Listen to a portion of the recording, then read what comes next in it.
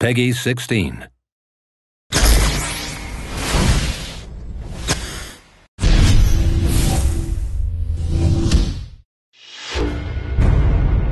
Hi, I'm Ryan Elam, Technical Director of PlanetSide 2. And I'm Tramell Isaac, Senior Art Director for PlanetSide 2. And we're here today to talk about ForgeLight. So ForgeLight is the name that we've given to our core engine. It's our set of tools for the designers and artists, to the client and the renderer, to the server behind the game. So PlanetSide 2 had a single vision, and that's big, massive battles.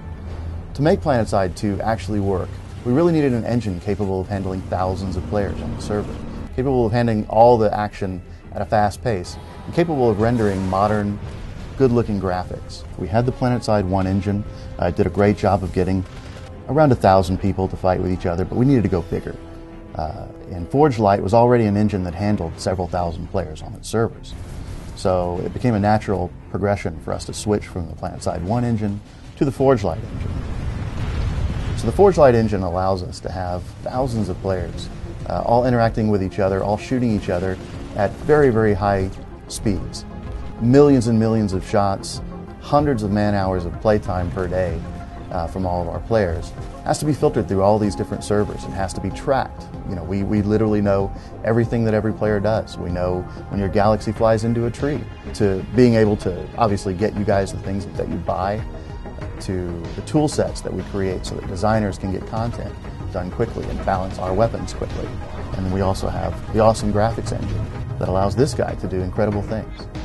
The ForgeLight engine allows us to have all the graphic uh, abilities as any other first person shooter.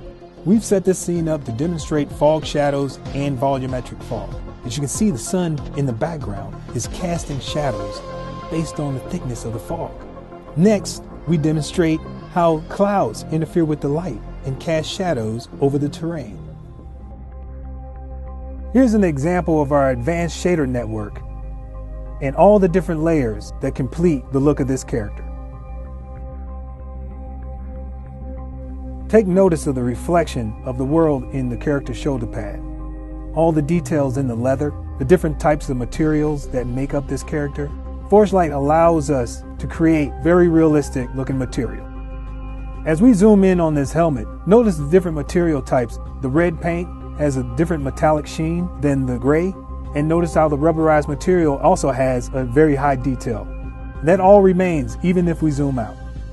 Here's a time-lapse video of the day-night cycle within the ForgeLight engine. Notice how the sun and the moon move across the sky as time passes. Here we have dynamic reflective cube maps. The moon is the only light in the scene, Yet the nebula and the satellites also reflect off the first person weapon. I've tossed a smoke grenade in the scene to demonstrate how particles are lit in ForgeLight. As I walk through the trees, you can see how the sun shines through the back of the leaves. Also demonstrated here are lens effects that mimic dust on the camera lens.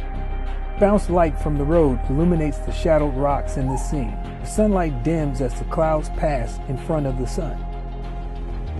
That concludes our brief demonstration of ForgeLight.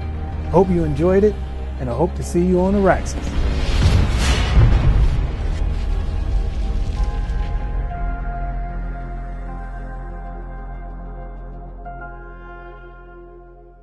Sony